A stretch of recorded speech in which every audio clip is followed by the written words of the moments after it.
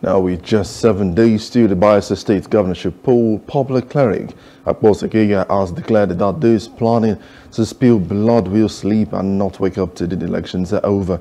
Akpos, who is a general overseer of Only Jesus Can Save Ministry, said religious leaders in Bayelsa have been praying for peaceful elections and that God will not allow a repeat of the bloodshed that marred previous polls in the state.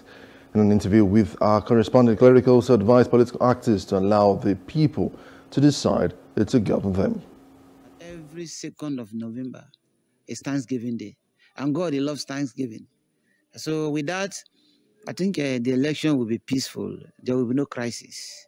Even though anybody that is trying to make crisis, God will tell that person to sleep. And some of them will sleep, and that day they will forget that it's election day. The next day they will wake up. Yeah, I'm telling them that Bayelsa is one, and we are one Bayelsa. We need not to kill one another to elect people to hold a position to govern us. We are one, and we should play that role as matured persons as one. And killing is not part of um, state. That to govern, you must kill before you govern people. No, killing is not part of us.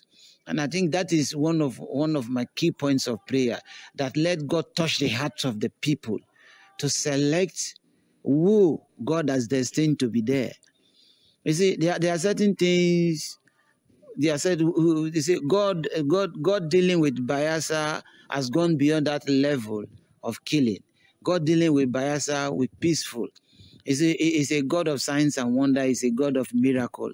And that day, believe you me, it will still be a miracle that this fighting, this killing will not take place.